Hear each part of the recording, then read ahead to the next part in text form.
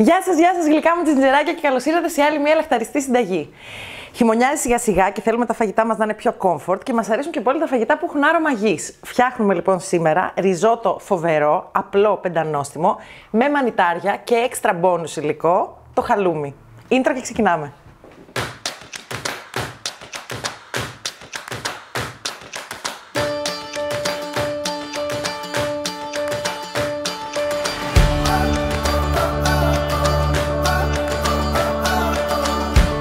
Ξεκινάμε λοιπόν τη συνταγή μας, το ριζότο, παίρνοντας το κατάλληλο σκεύος. Το κατάλληλο σκεύος για τη συγκεκριμένη συνταγή και γενικά για το ριζότο είναι μία πλατιά και χαμηλή κατσαρόλα, όπως αυτή εδώ, ή ένα βαθύ τηγάνι, εάν δεν έχετε αυτή την κατσαρόλα.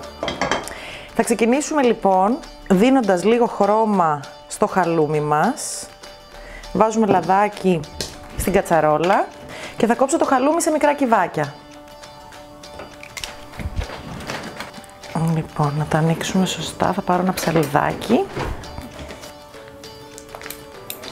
Τώρα, τα κυβάκια, ό,τι, ό,τι μέγεθος θέλετε, εγώ το προτιμώ μικρό για να χωράει στην μπουκιά. Σε μια μπουκιά δηλαδή να χωράει και ένα κομματάκι χαλούμι. Κόβω πρώτα φέτες και μετά θα το κόψουμε σε κυβάκια. Τέλεια. Λοιπόν, κόψαμε το χαλούμι μας και έχει ζεσταθεί το λάδι και θα το ρίξω μέσα. Τι θέλω σε αυτό το σημείο, δεν θέλω να λιώσει, θέλω απλά να πάρει λίγο χρώμα. Και μετά θα το βγάλω σε απορροφητικό χαρτί και θα ξεκινήσω στο ίδιο τηγάνι το ριζότο μου. Τι γίνεται τώρα εδώ, δεν θέλω να το ανακατέψω, θέλω με το που πέσει το χαλούμι στο τηγάνι να το αφήσω, απλά το απλώνω να πάει παντού, δηλαδή όλα τα κομματάκια να είναι να ακουμπάνε στον πάτο της κατσαρόλας του τηγανιού. Και όταν λοιπόν πάρει χρώμα το χαλούμι από τη μία μεριά και έχουν εξατμιστεί και τα υγρά που πέφτουν μαζί με το τυρί, ε, τότε το γυρίζουμε και το ανακατεύουμε. Πολύ γρήγορη διαδικασία γενικά το χαλούμι. Σε μια μέτρια φωτιά παίρνει αμέσως χρώμα. Και αυτό, παιδιά, μόλις πέσει στο τέλος μέσα στο ριζότο, θα λιώσει, θα γίνει μαστιχωτό όπως πρέπει και θα είναι υπέροχο. Τρομερή εναλλακτική τυριού σε οποιοδήποτε ριζότο και να φτιάχνετε. Τώρα, λίγο πριν βγάλω το χαλούμι από την κατσαρόλα μου σε απορροφητικό χαρτί, θα ξύσω καλά καλά τον πάτο για αυτά τα πολύ ωραία κριτσανιστά, ε, υπέροχα χαλουμάκια που έχουν μείνει, τα οποία θα δώσουν και τέλεια γεύση στο φαγητό μου. Οπότε, πήραμε χρώμα, ξύσαμε και τον πάτο και αδειάζουμε το χαλούμι σε ένα πιάτο. Το βάζουμε αυτό στην άκρη. Δεν αλλάζω κατσαρόλα. Έχουμε πει τα πάντα προσπαθούμε να τα κάνουμε σε λίγα σκεύη για να μην ε, λερώνουμε συχνά. Στην ίδια κατσαρόλα λοιπόν, λαδάκι. Θα ξανανάψω το μάτι μου σε μέτρια φωτιά. Και κρεμμυδάκι. Ωραίο ψιλοκομμένο με μαχαιράκι. Σας παρακαλώ μου το κόψετε στο μούλτι γιατί θα βγάλει πάρα πολλά υγρά και θα μυρίσει άσχημα και δεν θα είναι και ωραία κομμένο. Θα είναι λιωμένο. Με ένα μαχαιράκι όπως μπορείτε. Δεν χρειάζεται να είναι όλο τέλειο. Μην τρελαθούμε. Σοτάρω καλά το κρεμμύδι. Παίρνει και τη γεύση του τυριού εντωμεταξύ του χαλουμιού που έχει μείνει στον πάτο. Τώρα, μέχρι να σοταριστεί το κρεμμύδι, να σας πω ότι ιδανικά για να φτιάξετε όχι μόνο αυτό το ριζότο, αλλά οποιοδήποτε ριζότο, θα πρέπει να έχετε ένα ζωμό. Πετάξτε σε μια κατσαρολίτσα ε, λίγα λαχανικά και ένα μπουτάκι κοτόπουλο ή και λίγα μανιτάρια για να πάρουν και το ζουμί των μανιταριών έχετε το δίπλα στη, στο τηγάνι που φτιάχνετε το ριζότο σας και από εκεί θα αρχίσουμε να ρίχνουμε υγρό ζεστό.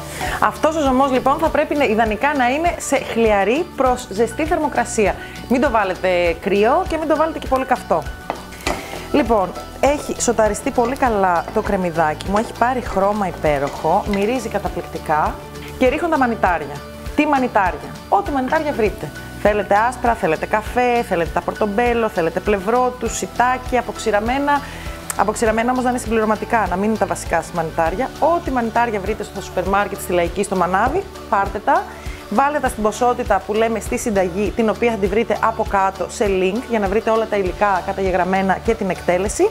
Και φτιάξτε αυτό το ριζότο μανιταριών το θεϊκό. Λοιπόν, τα μανιταράκια μου τώρα θα σοταριστούν, θα βγάλουν κάποια υγρά σίγουρα.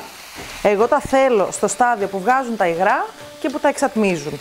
Οπότε θα τα αφήσω 6-7 λεπτά, μπορεί και λιγότερο. Ανάλογα τη φωτιά σας. Εμένα που είναι γκάζι χρειάζεται λίγο, πιο, λίγο λιγότερο. Σε εσάς μπορεί να χρειαστεί 6-7 λεπτάκια. Τα ανακατεύω και τα αφήνω στην ησυχία τους. Μέχρι να βγάλουν υγρά και να εξατμιστούν.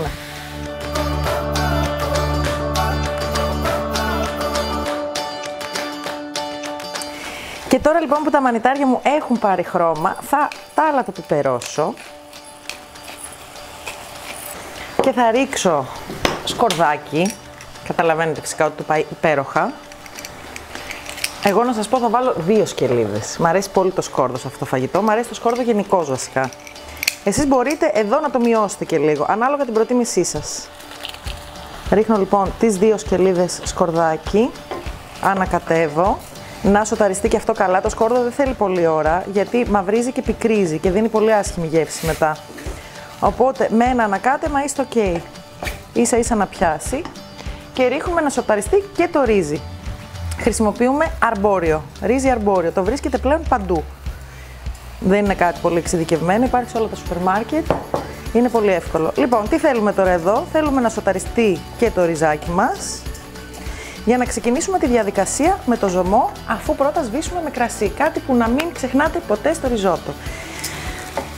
Τι μπορεί να πάει λάθος σε αυτή τη συνταγή; Εάν ακολουθήσετε πιστά τις οδηγίες, δεν μπορεί να πάει λάθος τίποτα. Το μόνο που μπορεί να πάει λάθος είναι να μου βάλετε μέσα μανιτάρια κονσέρβα.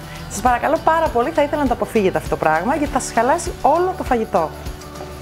Προτιμήστε φρέσκα μανιτάρια, είναι και πολύ πιο οικονομικά και είναι και φυσικά νόστιμα, έτσι δεν έχουν καμία σχέση με τα μανιτάρια που θα βρείτε μέσα σε μία κονσέρβα.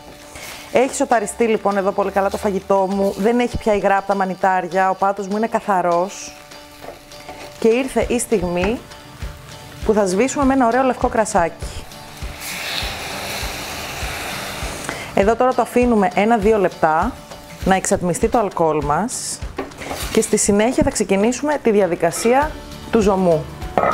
Αυτό είναι μια διαδικασία που γίνεται αργά, δηλαδή ρίχνετε λίγο ζωμό, ανακατεύετε, περιμένετε να τα απορροφήσει. Ξανά ρίχνετε λίγο ζωμό, ανακατεύετε, περιμένετε να τα απορροφήσει.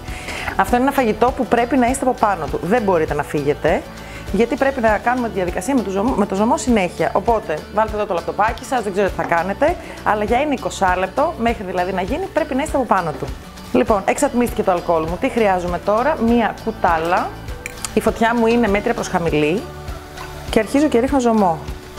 Θα ρίξω λίγο πιο πολύ στην αρχή και μετά θα το ρίχνω σιγά σιγά μέχρι να έρθει το ριζότο εκεί που θέλω. Ανακατεύουμε και μόλις αρχίσει να το απορροφάει ξαναρίχνουμε.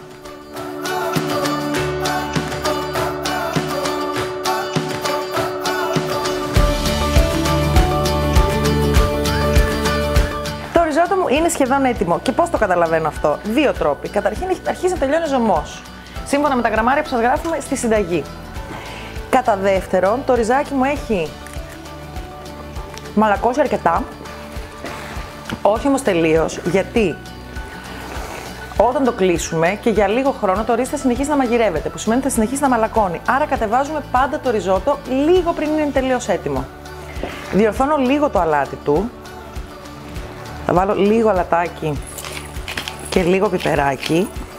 Κλείνω το μάτι και προσέξτε τώρα. Εδώ το ριζότο μου είναι αρκετά πηχτό. Δεν έχει πάρα πολλά ζουμιά. Θα βάλω μισή ακόμα κουταλίτσα. Το ανακατεύω και θα ρίξω το θυμαράκι μου. Δεν το έχω ρίξει από την αρχή για να μην μου πικρίσει. Θέλω το άρωμά του να μείνει ζωντανό. Φρέσκο, φρέσκο, ε. Άλλο ένα ανακάτεμα. Και θα ρίξω και το μισό χαλούμι. Το υπόλοιπο μισό θα το κρατήσω για πάνω από τα πιάτα μου. Ανακατεύω και αυτό. Λιώνει μέσα υπέροχα. Το ριζότο, όπως ξέρετε, είναι ένα πιάτο που τρώγεται αμέσως. Θα φέρω και ένα πιάτο ελαφρώς βαθύ, δεν θέλω να το βάλω σε τελείως ρηχό. Εάν βέβαια σας μείνει και δεν το καταβροχθήσετε όλο την πρώτη ώρα που θα βγει από το τηγάνι, το ξαναζεσταίνετε με λίγο ζωμό στο τηγάνι. Τώρα θα μου πείτε, το ριζότο έχει βούτυρο. Βεβαίως, μπορεί να έχει βούτυρο. Πάρτε ένα πολύ ωραίο αγελαδινό βούτυρο και μπορείτε να ρίξετε 2-3 κυβάκια στο τέλος. Εμένα το αγαπημένο μου είναι το δοδόνι γιατί έχει πραγματική γεύση βουτύρου. Αλλά σήμερα κάναμε ένα πιο ελαφρύ ριζότο με ελαιόλαδο. Εγώ προσωπικά το προτιμώ. Εάν θέλετε, μπορείτε να προσθέσετε και οποιοδήποτε έξτρα τυράκι από πάνω. Και φυσικά το ριζότο θέλει βόλικο πιπεράκι. Φρέσκο. Το χαλούμι μου και λίγο ακόμα φρέσκο θυμαράκι. Έτοιμοι να δοκιμάσουμε. Μέχρι να δοκιμάσουμε πηγαίνετε facebook, κάνετε ένα like, instagram follow και σημαντικό πολύ ένα subscribe στο youtube γιατί έρχονται πολλές λαχταριστές συνταγές και φυσικά τα καινούργια μας βίντεο για το σπίτι τα οποία αν δεν τα έχετε δει πρέπει να τα δείτε τώρα στο κανάλι μας στο youtube. Εδώ θα τσουρουφιστώ όπως πάντα, το ξέρετε, αλλά δεν μπορώ να περιμένω για να δοκιμάσω. Και για να σας πω τελείως την αλήθεια, είναι η πρώτη φορά που φτιάχνω το ριζότο. Σε αυτό εδώ το βίντεο δεν το έχω ξαναδοκιμάσει. Ξέρω βέβαια ότι θα είναι υπέροχο. Μανιταρένιο, γήινο και πολύ τυρένιο από το χαλούμι. Τέλειο, τέλειο, τέλειο. Πιστεύω θα το λατρέψετε. Κάντε το Σαββατοκύριακο καθημερινή, δεν έχει σημασία. Μην το βάλετε όμως σε ταπεράκι για το γραφείο. Δεν δουλεύει αυτή η συνταγή για τέτοιο πράγμα. Μέχρι την επόμενη υπέροχη λαχταριστή συνταγή μας. Φιλάκια!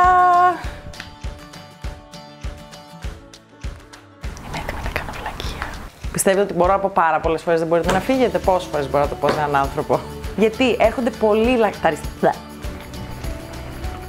Έχει αρχίσει και τελειώνει ζωμός στα. Δεν σ' αρέσει που είμαστε κατίνα.